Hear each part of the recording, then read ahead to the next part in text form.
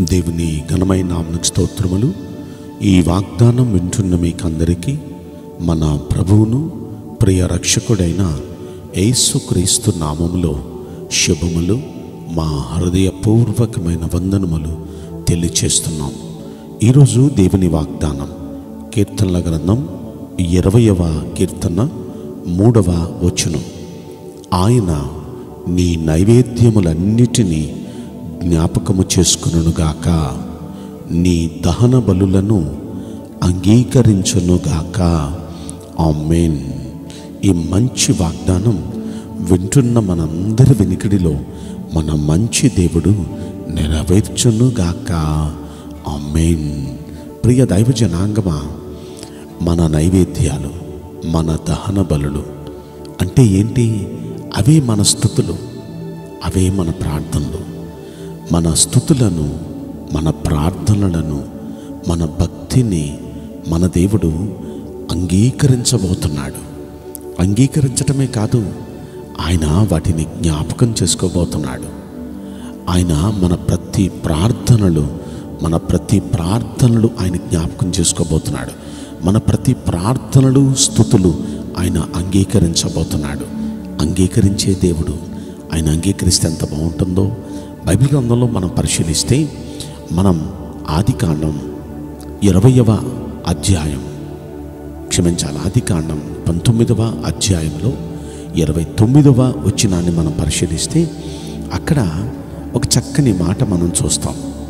ఈ పంతొమ్మిదవ అధ్యాయంలో దేవాది దేవుడు సుధోమ గుమార అనే పట్టణానికి ఆయన దిగి వచ్చారు. ఎందుకంటే ఆ పట్టణాన్ని పాడు చేయటానికి ఆ పట్టణాన్ని నాశనం చేయటానికి ఎందుకు ఆయన నాశనం చేయాలనుకుంటున్నారు? ఆ పట్టణ ప్రజలు వారు చాలా దుర్మార్గులు. వారి దుర్మార్గ చేష్టలను గమనించిన దేవుడు ఇక ఆ వారిని ఎన్ని విధాలుగా మార్చాలనుకున్నా వారు ఇక మారని పరిస్థితిని గమనించిన దేవుడు ఇక వారిని సర్వనాశనం చేసి వారి మీద అగ్నిగంధకాలు కురిపించి ఆ పట్టణాన్ని సర్వనాశనం చేద్దామని ఆయన దిగి వస్తూ ఉంటే పద్దెనిమిదవ అధ్యాయంలో ఆది కాండంలో అబ్రహాము మొర్ర పెడతాడు దేవుణ్ణి బతిమాలుతాడు.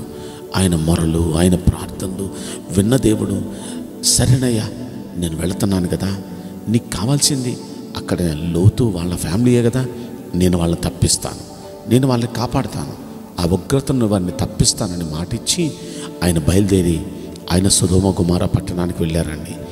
ఇక సుధోమ గుమార పట్టణానికి వెళ్ళిన తర్వాత లోతు తన కుటుంబం. వారిని ఇంట్లోనికి తీసుకుని వెళ్ళి వారికి ఆతిథ్యం ఇద్దామన్న ఆ సమయంలో అప్పుడు కూడా ఈ సుధుమ గుమార ప్రజలు వారు మాకు వచ్చిన వాళ్ళు కావాలి ఆ దేవదూతలు కావాలి మాకు వారితో మేము పాపం చేస్తాం అని దుర్మార్గంగా ఆ పట్టణ ప్రజలు ఆ పురుషులు వారి మీదకు వచ్చి ఆ రాత్రి భయంకరంగా గందరగోళం చేస్తుంటే ఇక దేవుడు తట్టుకోలేకపోయాడు. ఇక ఆ పట్టణాన్ని సర్వనాశనం చేయటానికి ఆయన ఇక కంకణం కట్టుకున్నారు.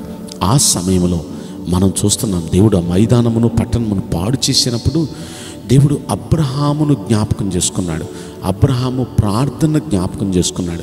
జ్ఞాపకం చేసుకొని లోతుని లోతు కుటుంబాన్ని ఆ నాశనం నుండి తప్పించినట్లుగా మనం చూస్తాం. నిజంగా ఒక్కసారి మనం ఆలోచిస్తే మన మొరలు జ్ఞాపకం చేసుకునే దేవుడండి. మనం ఇవాళ మొరపెట్టి మనం మర్చిపోతాం. కానీ మన దేవుడు మర్చిపోడు. వాటిని జ్ఞాపకం చేసుకుంటాడు. సమయం వచ్చినప్పుడు వాటికి ప్రతిఫలం ఇస్తాడు. ఇక్కడ అక్షరాల మనకు అర్థమైంది కదా?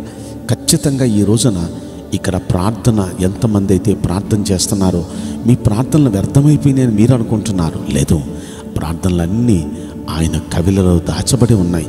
ఆయన వాటి అన్నిటినీ జ్ఞాపకం చేసుకునే దేవుడు. జ్ఞాపకం చేసుకొని సమయంలో మీకు ప్రతిఫలం ఇస్తాడండి ఖచ్చితంగా. మనం అపోస్తుల కార్యంలో కూడా మనం పదవ అధ్యాయాన్ని చూస్తే అక్కడ పదవ అధ్యాయంలో ఇటలీ పటాలమనబడిన పటాలములో శతాధిపతి అయిన కొర్నేలి అనే ఒక భక్తిపరుడు ఆ కైసరలో ఆయన ఉంటున్నాడండి. ఆయన తన ఇంటి వారందరితో కూడా దేవుడెందు బహుగా భయభక్తులు కలిగి ప్రజలకు బహు ధర్మకార్యాలు చేస్తూ ఎల్లప్పుడూ ప్రార్థన చేస్తూ ఉండేవాడండి. అలాంటి పరిస్థితుల్లో ఉండగా ఒకనొక రోజున దేవుడు తన దూతను పంపించాడు. ఈ దూత వచ్చినప్పుడు భయపడ్డాడు కొన్నేలి భయపడొద్దయ్యా. కొన్నేలి భయపడొద్దు. నీ ప్రార్థనలు నీ ధర్మ కార్యాలు దేవుని సన్నిధికి జ్ఞాపకార్థంగా చేరినయ్యా వాటన్నిటికీ ప్రతిఫలం నీకు ఇవ్వబోతున్నాడయ్యా ధైర్యంగా ఉండయ్యా. ఆనందించయ్యా అంటూ దేవదూత మాట్లాడాడండి.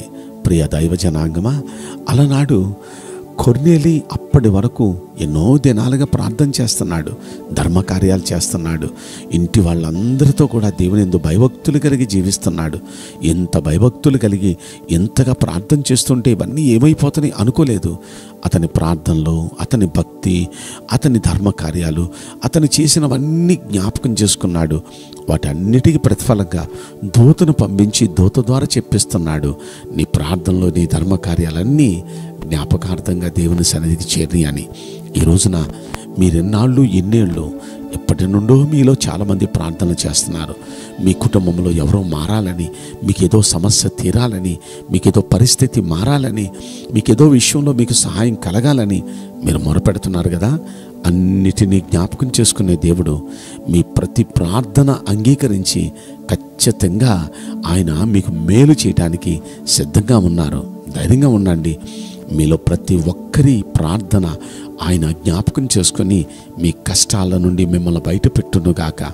మీ ప్రార్థనలు అంగీకరించి మీ ఆపదల నుండి మిమ్మల్ని విడిపించునుగాక. అద్భుత ఆశ్చర్య కార్యాలు మీ అందరి జీవితాల్లో మన మంచి దేవుడు జరిగించునుగాక. ఆ మెయిన్ నేను మీకోసం ప్రార్థన చేయబోతున్నాను. పరిశుద్ధుడా ప్రేమగలేశ్వరాజా మీ పరిశుద్ధ బంగారు పవిత్రమైన నామునకు నిండు మనసుతో కోట్ల కొలదిగా స్థుతులు స్తోత్రములు వందనాలు చెల్లిస్తున్నాం. ఈ వాగ్దానం వింటున్న ప్రియుల జీవితంలో దయచేసి ఈ వాగ్దానం నెరవేర్చి కృప చూపించండి. మీ బిడల ప్రార్థనలన్నీ జ్ఞాపకం చేసుకొని దయచేసి ప్రభు వారి భక్తిని చూస్తున్న దేవుడివి వారందరి భక్తికి తగిన ప్రతిఫలం అనుగ్రహించి నిశ్చయంగా మేలు చేయమని ఈ కొద్ది మనవులు నజరుడైన యేసు క్రీస్తు ప్రశస్తమైన నామములో మిక్కిలి వినయముతో ప్రార్థించి బ్రతిమలాడి వేడుకుంటున్నాం. ప్రియ పరలోకపు తండ్రి amen may God bless you all thank you